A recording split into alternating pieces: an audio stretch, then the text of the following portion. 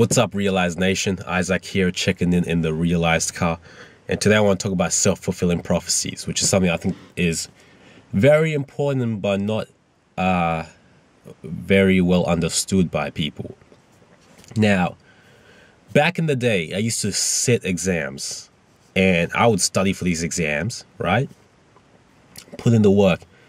But whenever it was time to actually sit the exam, the final exam, I always crack under pressure for whatever reason. I always crack and just get mind blanks.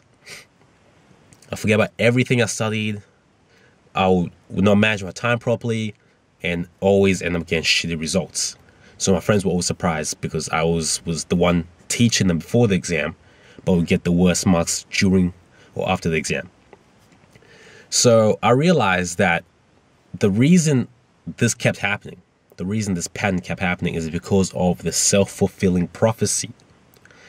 I started believing that I would mess up in the exam, and because I believed it, I kept thinking about it, it actually happened.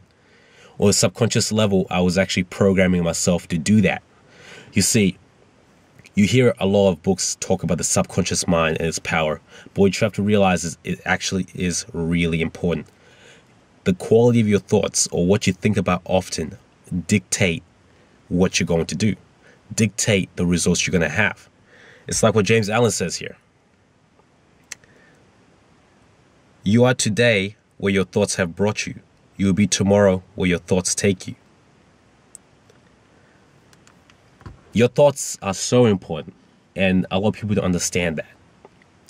Your thoughts, your imagination, and all these things, they play a huge role in what success you actually have in the real world. Obviously, you can't get success by just sitting around all day and just thinking about it. But if you think about it and you're doing the work, you're in a better position. They actually did an experiment. And this is going to contradict what I just said.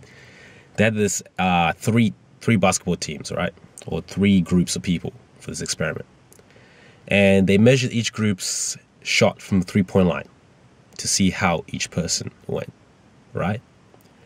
So after they tracked the percentage um, fucking balls went into the hoop for each group. They told one group to go home and forget about basketball. Don't, don't even worry about it. They told another group to practice, to practice often, to practice the three point shot like every day. And they told another group to not practice, but to envision it. To envision what it would be like to make the shot exactly what they would do as if they're doing it, but just in their mind every day. So they brought all these groups together, and what happened was that the group that didn't practice actually got worse, a lot of them. The group that practiced got 25% better. And the group that just sat around imagining it apparently increased by 23%. So your thoughts actually have the capacity to change your direction in life. Obviously, um, this experiment involved amateurs. Obviously, you're not going to become LeBron James just pretending or envisioning to be LeBron James. But a lot of your results are determined by what thoughts you entertain and which ideas go through your mind regularly.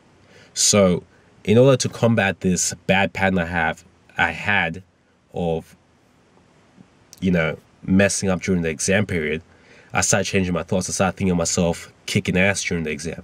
I started thinking of myself getting high distinctions, thinking of myself doing incredibly well.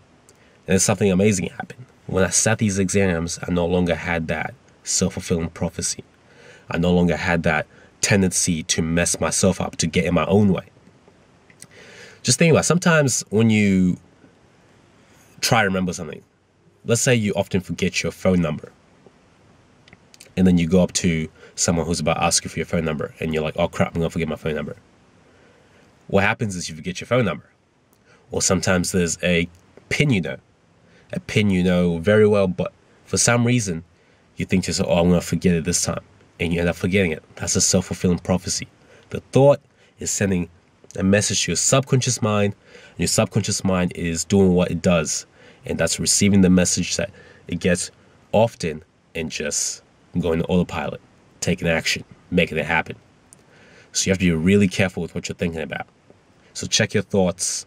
Remember, as a man thinketh, so is he. Fuck, that's not the quote. But yeah, you get it. Check your thoughts. Anyway, guys, hope you guys liked that video. If you did, like, comment, subscribe, and all that good shit. Peace.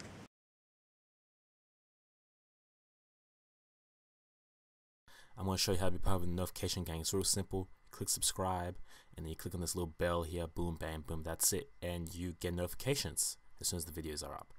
Peace. Do it! Just do it!